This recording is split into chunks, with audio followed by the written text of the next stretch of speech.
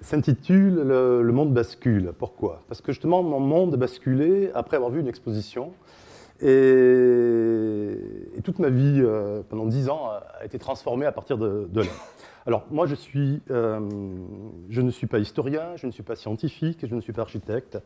Je suis artiste, donc je ne suis ni méthodique, ni exhaustif et ni rigoureux.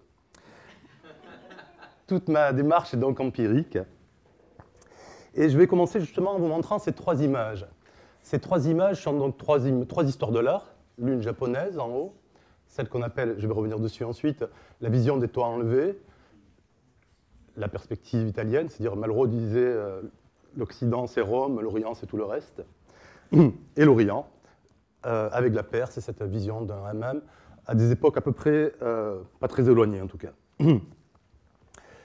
Pour que vous sachiez un petit peu euh, d'où je parle, je vais vous montrer, ce n'est pas l'objet de ma, de ma conférence aujourd'hui, mais je vais vous montrer un petit peu euh, euh, le, travail que essayé de faire. Cette œuvre s'appelait, c'est le début de l'œuvre, c'est pas l'œuvre, s'appelait N'importe où, n'importe où hors du monde, d'après un, vers de, de Baudelaire, l'Éden. Dans ce tableau, j'ai voulu faire cohabiter dans une seule œuvre différents modes de représentation que j'avais observés dans les histoires de l'art perse, japonais, en perspective. Voilà, ça s'est achevé au bout d'un an et demi. En perspective, euh, sans perspective, en plongée, mais aussi euh, différentes techniques comme le dessin, la peinture et la photographie.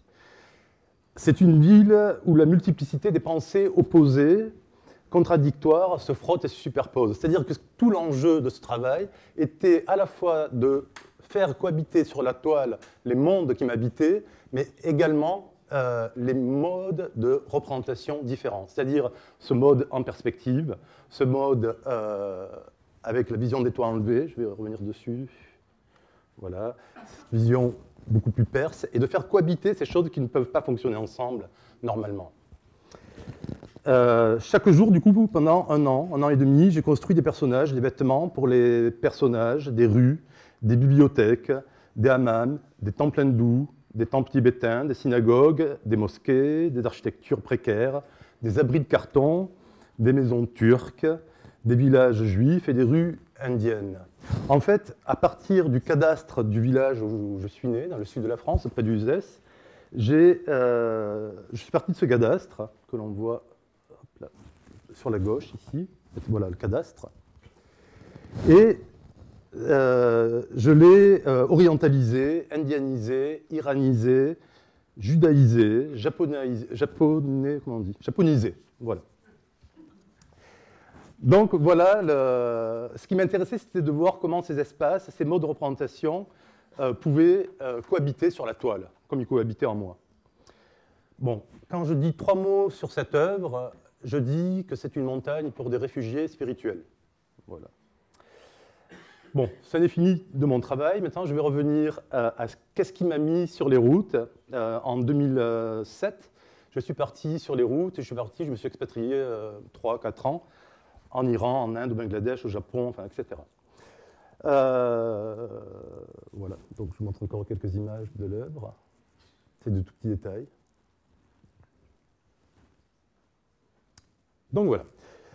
Euh, en 2007, je suis allé voir au musée du Louvre euh, une exposition que vous avez peut-être vue qui s'appelle Le Chant du Monde, l'art de l'Iran safavide, où j'ai découvert réellement, je les connaissais, mais je voulais vraiment découvert les miniatures persanes.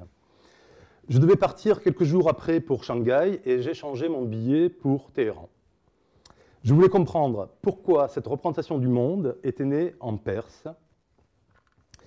euh, et pas ailleurs. Pourquoi, d'où venait cette représentation abstraite, idéalisée, ces décors, euh, ces, pages tapis, comme on, dit, et qui, ont beaucoup à voir avec l'aventure de la modernité, c'est-à-dire Paul Klee, Klimt, Matisse, particulièrement. Matisse se revendique de, de la miniature persane. Euh, et donc, du coup, j'ai parcouru Tabriz, Shiraz et Ispahan. Alors, on ne va pas partir dans ces trois villes, mais du coup, on va se concentrer sur Ispahan pour savoir, ce que je voulais savoir, c'était dans quel monde vivaient euh, ces peintres, Euh, comment qu'ils se couchaient, comment ils marchaient, à quel endroit ils se posaient, qu'est-ce qu'ils voyaient, qu'est-ce qu'ils avaient sous les yeux, et qu'est-ce qui faisait que cette histoire de l'art était née là et pas ailleurs. Donc aujourd'hui, euh, Ispahan, j'ai voulu mettre un peu une perspective euh, architecturale, puisque c'est l'objet, euh, mais c'est réellement ce qui s'est passé. Je voulais voir, donc j'ai marché dans les rues, et je voulais...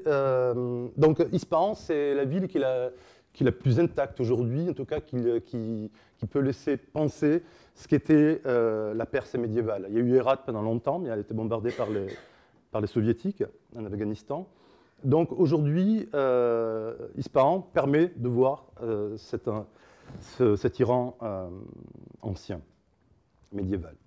Donc en 1850, l'architecte Pascal Coste écrivait Ispahan est un bois et c'est une ville.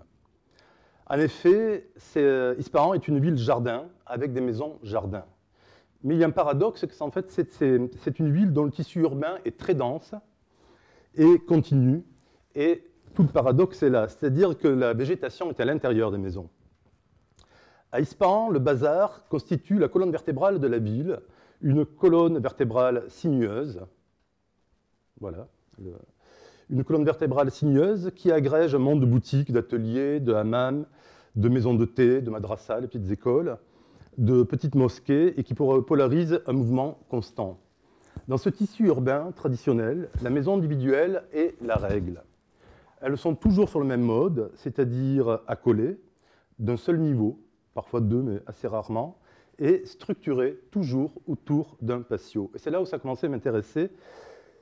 Euh, bon, déjà, cette euh, spécificité, mais euh, je me suis dit qu'il y avait un lien entre tout ça. Donc, la ville elle-même est structurée autour d'un patio agrandi, la grande place d'Ispahan qu'on a vu tout à l'heure, vous voyez, qui est une sorte de patio agrandi. C'est comme ça que, ça se vit par les, Iraniens, qu'on appelle le Méden. Donc, voilà le plan d'une maison.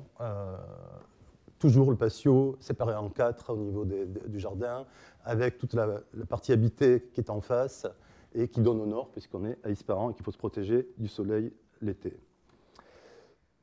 Voilà. Donc la façade sur rue est quasiment aveugle et simplement percée d'une porte modeste. Ça, c'est propre à l'Iran et beaucoup de pays orientaux.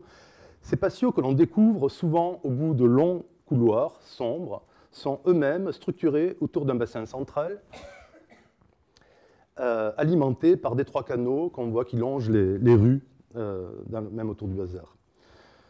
L'eau dans le patio permet de cultiver les fleurs, les arbustes, les grands arbres dont les frondaisons apportent de l'ombre par forte chaleur. On y trouve des citronniers, des grenadiers, des vignes, du jasmin, des cyprès, des pins et les roses d'Ispahan. Euh, le patio accueille les activités de la famille. Une combinaison idéale de ces éléments, sa dimension, l'orientation par rapport au soleil, la hauteur des façades, le positionnement de l'eau, la végétation crée une température ambiante. Cette volonté de tout organiser autour du patio se lie à l'importance qui est donnée aux fenêtres immenses, que l'on voit à droite et qui un nom, s'appelle des orossis. Ce sont des façades très élaborées de bois et de verre colorés. Certaines peuvent atteindre 35 mètres carrés. Alors essayez d'imaginer, parce qu'à l'intérieur, euh, donc les verres, la plupart du temps, sont des verres colorés. Et à l'intérieur, ils se reflètent sur des mosaïques de miroirs. Donc imaginez un petit peu le- les effets que cela donne. J'ai l'impression d'avoir pris de l'opium. Il n'y a pas de meubles et le, le mobilier se résume à des tapis et des coussins. Donc du coup, j'ai poursuivi ma réflexion. Je me suis dit, voilà, le patio, le bassin, le tapis. Et je me suis dit que ce n'était pas là par hasard et que tout ça devait être lié. Oui, ces trois euh, éléments qui structurent la vie terrestre ont une forte valeur symbolique en Iran.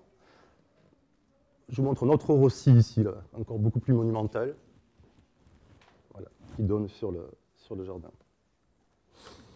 Euh, donc ces trois éléments, donc le tapis, le bassin, le patio, qui structurent la vie terrestre, ont une forte valeur symbolique en Iran. Dans la culture perse, tout jardin représente ce qu'ils appellent, nous on appelle paradis, eux ils appellent le jardin très haut, c'est-à-dire ce monde symbolique, idéalisé, d'un monde euh, cosmique. Le réel pour eux, on va y revenir, mais n'a- ce que voient nos yeux n'a pas, d'importance dans l'histoire de l'art perse en tout cas. Je ne parle pas de l'Iran aujourd'hui. Le bassin qui est nécessaire aux activités est aussi un miroir d'eau, donc un miroir du paradis, de ce jardin très haut, qui irrigue la connaissance, la méditation, les facultés intuitives, le cœur, etc. Une chose qui m'a beaucoup intéressé, je m'étais penché sur les, maisons qui soignaient les malades psychiatriques euh, euh, dans l'Iran antique, ancien, et le patio, était, le bruit de l'eau était essentiel pour calmer les, humeurs, les dépressions, les, maladies. Euh, les odeurs végétales également, et le bruit de l'eau. Le bruit de l'eau était extrêmement important.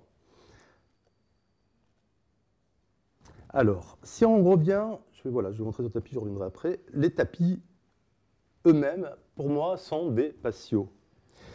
Parce que ce sont des jardins rectangulaires qui invitent à la méditation. On y retrouve les végétaux, l'eau dans les arabesques. Ainsi, le tapis, grâce à son espace clos, c'est un espace clos comme le patio, devient une image du jardin réel, dont il partage la fonction d'invitation au repos et à la méditation. Le jardin et le tapis étaient tous deux des attributs essentiels de la demeure iranienne.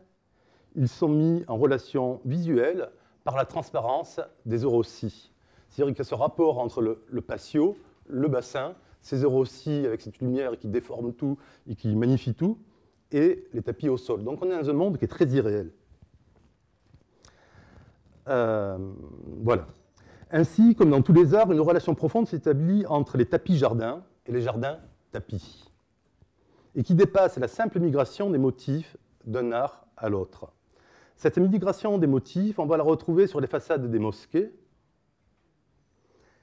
où l'élément floral va être figuré sous l'aspect de feuillage, de pampres, de fruits, de fleurs, d'oiseaux, et sur les carreaux de faïence qui recouvrent des façades de briques. Voilà, c'est une image qui est très importante pour moi, et qui ressemble beaucoup à la miniature, c'est celle-ci. Regardez la pauvreté du matériau et l'œil ne peut pas traverser. Euh, c'est comme la miniature, on va voir. Ici, c'est de la brique, ensuite, ça sera du papier. Et devant, l'artiste interdit de traverser l'épiderme.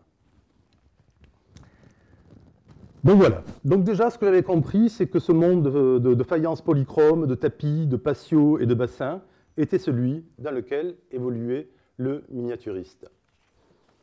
Donc je n'avais pas fait le voyage pour rien. Mais euh, alors on va partir voir quelques miniatures quand même.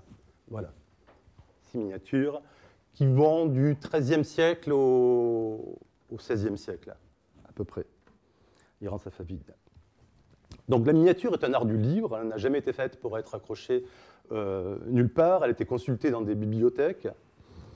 Euh, on disait d'ailleurs que pour bien apprécier une miniature, il fallait consommer le rubis et l'émeraude, c'est-à-dire le vin rouge et le hashish. Et donc les princes, euh, euh, voilà. Donc c'est quelque chose qui était vu à la lumière de, bougies. C'est ce qu'il faut imaginer, ce monde irréel en fait. Avec imaginez comment ça bouge avec un petit peu de, de hashish, de vin rouge et une flamme qui, se promène au-dessus de ça. Et donc, ce sont des grands, des grands livres qui sont conçus eux-mêmes comme des palais. C'est ça qui est important aussi, c'est que on les a ensuite euh, séparés. Euh, aujourd'hui encore, on les, sépare dans les grandes ventes, mais euh, c'était quelque chose qui était conçu dans son ensemble, ces livres. Euh, voilà. Alors, comment est-ce qu'on peignait? On peignait avec le calame. on n'était pas en Chine. En Chine, on on avait une profondeur atmosphérique, il pleut, donc on avait des pinceaux, on avait de l'encre. En Perse, on est sur un sol aride avec un soleil très fort, très peu de profondeur atmosphérique, et donc on va utiliser euh, le calame, c'est-à-dire ce, morceau de, bambou qui est taillé. Euh, voilà. Donc la Perse récuse la profondeur atmosphérique des Chinois pour amener le regard obstinément à la seule surface du support de papier. Le miniaturiste supprime les caractères généraux. C'est ça qui est intéressant. Nous, on y est habitués parce qu'on est passé par l'aventure moderne, Matisse. Mais euh, imaginez ça, on est au 14e, voilà, celle-ci du XVIe siècle, mais il y en a des plus anciennes. Donc pas de perspective, ou quasiment pas. La diminution des personnages avec la distance est inexistante, c'est-à-dire le premier plan, le deuxième plan, les arrière-plans, les personnages s'étagent exactement à la même taille, mais ne diminuent jamais. Ça, c'est, fondamental. Euh, la lumière et les ombres sont, euh, sont inexistantes. Par conséquent, le volume n'existe pas.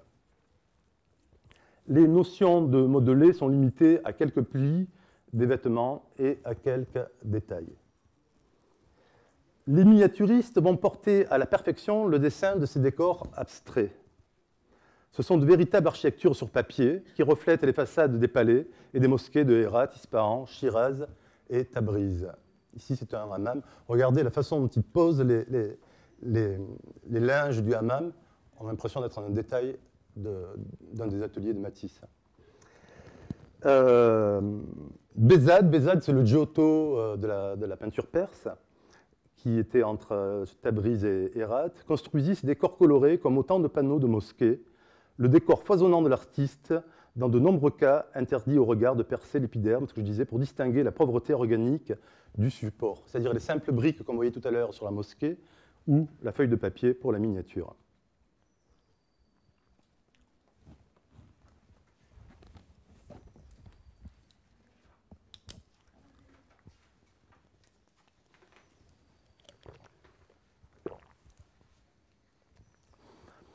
Donc voilà, donc j'avais vu dans quel monde terrestre il vivait, un monde de tapis, de patios, de jardins. Mais euh, parallèlement à ces promenades terrestres, je lisais beaucoup les soufis, c'est-à-dire Rumi, Ibn Arabi, plus théorique, Rumi mon préféré, plus, plus poétique, Attar, plus, symbolique, le cantique des oiseaux, les poètes, Hafiz, Saadi, Omar Khayyam, et même la lecture de la magnifique chouette aveugle de l'écrivain Sader Hedayat, qui, qui s'est suicidé rue Championnet à Paris au XXe siècle, euh, m'ont aidé à essayer de, comprendre quelle était la représentation du monde. Euh, chez les soufis, le, monde, euh, il y, y, a le monde réel, le monde terrestre, le monde que voit notre rétine, et ce monde n'existe pas pour eux. Il a une existence qui est très... voilà, c'est une existence terrestre, mais il y a un royaume abstrait qui plane au-dessus de nos pauvres sens physiques un ordre plus élevé d'existence, un au-delà où les images sont immatérielles et privées d'ombre. Cela m'a fait comprendre cette phrase d'André Malraux qui dit, et ça, ça m'intéressait beaucoup, cette troisième dimension que nous avons conquise avec acharnement, l'Orient a mis le même acharnement à l'écarter.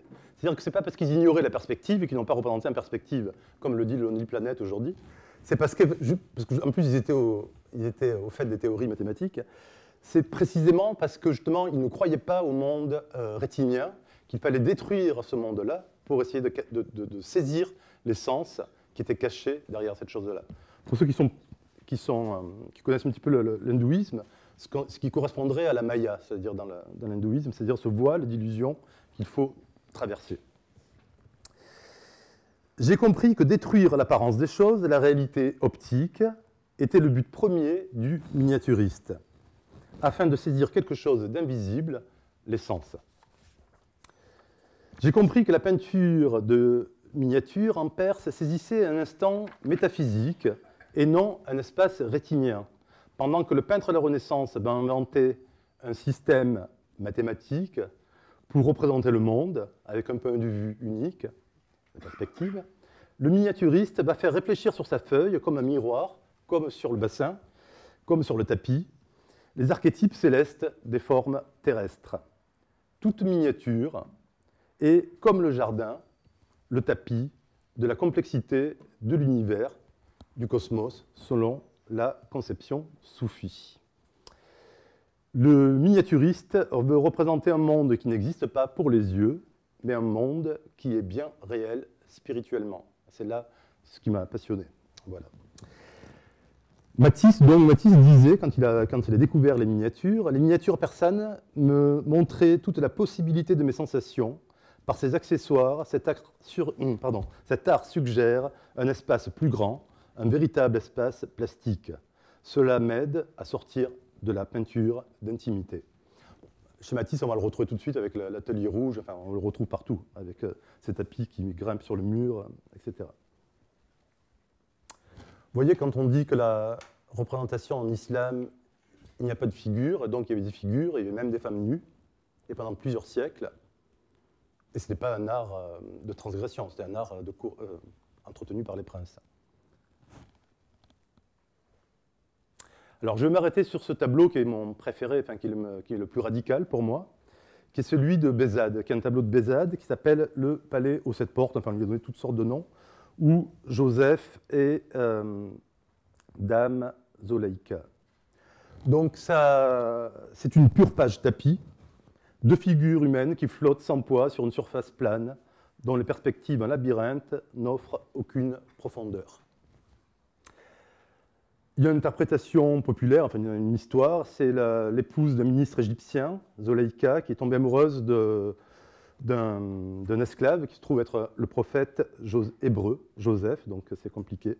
Et donc elle va construire un palais aux sept portes pour pouvoir l'emprisonner, un traquenard. Mais l'interprétation ésotérique, c'est que cette peinture sert à faire miroiter les reflets visibles, comme tapis, comme tout ce qu'on a dit avant, des archétypes invisibles aux yeux de, qui sait voir. C'est-à-dire qu'en fait, ça va être le chemin, ce chemin, par les sept portes, par les escaliers, qui va conduire à la complexité invisible du cosmos. Mais, et là on rentre dans une notion qui est totalement orientale, et qu'on va retrouver en Inde également, c'est également le voile d'illusion qui va laisser à l'extérieur l'étourdi spirituel. C'est-à-dire que si on est euh, étourdi, qu'on ne s'intéresse qu'à ce que voit la rétine, on reste à, l'extérieur. Et si on a une ambition spirituelle un peu plus euh, importante, c'est par ce même, cette même image qu'on va pouvoir accéder à une compréhension de la complexité des choses. Donc voilà, c'est une toile ensorcelée.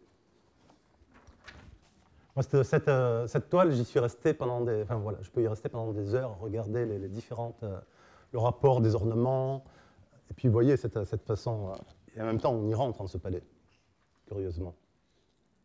Alors, on va faire un tout petit passage au Japon pour voir qu'est-ce qui se passe au Japon à ce moment-là et comment on représente, surtout à quel endroit se place l'artiste, qu'est-ce qu'il choisit comme point de vue. Là, on est en haut. En fait, on est en haut du minaret et on regarde le monde comme un tapis. Chez les, Japonais, on va s'y prendre autrement. Ils vont inventer une vision qui s'appelle la vision des toits enlevés. Alors là, je vous ai mis, comme pour tout à l'heure, voilà, toujours, parce que pour moi c'est important de voir l'architecture, de voir dans quoi, quel jardin, dans quelle architecture ces peintres marchaient, vivaient, se couchaient, mouraient. Et ici, c'est un détail de la villa Katsura, à Kyoto, avec la mousse, pilotis, enfin voilà. je ne vais pas vous faire, vous la connaissez, j'imagine. Donc les ukiyo-e, les ukiyo-e c'est donc les images du monde flottant. Euh, la peinture existait sur les paravents et, euh, sur les, donc l'ukiyo-e, qui est donc l'équivalent de la miniature persane, qui est, les estampes japonaises, pardon. Euh, les femmes, les hommes, les vêtements, les arbres, le mouvement de la pluie est très différent de la miniature persane est très différente du peintre italien. Le peintre japonais représente le monde comme s'il était vu un oiseau, vu de très haut. Mais surtout, un effet de composition apparaît très tôt au Japon, la vision dite des toits enlevés. C'est-à-dire les perspectives hautes des toits enlevés permettaient de représenter non seulement les éléments dans la totalité de leur déroulement intérieur et extérieur, mais aussi de montrer l'environnement la nature autour des maisons de thé et des temples. Le peintre japonais ne s'embarrasse ni des limites qui fractionnent l'espace, ni de celles qui rythment le temps. On voit dans la même composition l'intérieur et l'extérieur des maisons de thé. Cette approche qui est totalement taoïste, bouddhiste du monde donne à la scène la plus quotidienne une dimension qui la libère des frontières, du concret, le monde optique est toujours illusoire. N'y crois pas. Par ailleurs, à la différence du point de vue unique de la Renaissance, le peintre japonais va représenter ces scènes avec une combinaison de points de fuite multiples qui se brisent et qui, situent l'homme dans l'univers comme un élément parmi tous les autres, mais jamais primordial. Voilà, c'est ça qui m'intéressait beaucoup également c'est qu'on est vraiment dans une vision bouddhiste avec l'homme qui est là parmi cet ensemble. Alors c'était une toute petite euh, escale au Japon, et du coup on revient en Occident, donc en Italie, comme dirait Malraux, pour voir qu'est-ce qui se passe à ce moment-là et comment nous, nous sommes sortis de ce monde-là. Alors, En même temps, en Occident, les artistes italiens qui voyaient un jardin, un palais, une jeune femme ou un âne, très semblable à ceux d'Ispahan et de Kyoto, représentaient le monde autrement. Au XIVe siècle, les techniques ont changé, avec l'introduction de la peinture à l'huile qui remplace la détrempe, et le succès de la toile qui tend à se substituer aux panneaux de bois des icônes. Alors j'aime bien partir de Cimabue et de Giotto. Pourquoi? Parce que Giotto va opérer une rupture avec la peinture de Cimabue, c'est-à-dire son maître, parce que Giotto est l'élève de, de Cimabue. Le fond doré à l'arrière-plan va disparaître et le paysage, l'architecture vont s'introduire avec une force grandissante. Voilà. Il y a simplement une génération entre ces deux-là. Les personnages de Giotto posent leurs pieds au sol. Ils sont extrêmement touchants. On a l'impression qu'ils esquissent des mouvements timides. Les architectures ressemblent à des châteaux de cartes, prêts à s'écrouler ou à peine construits. Et les hommes relèvent les yeux et prennent conscience d'eux-mêmes. Ils redéfinissent leur rapport à Dieu. Un sentiment du monde nouveau apparaît.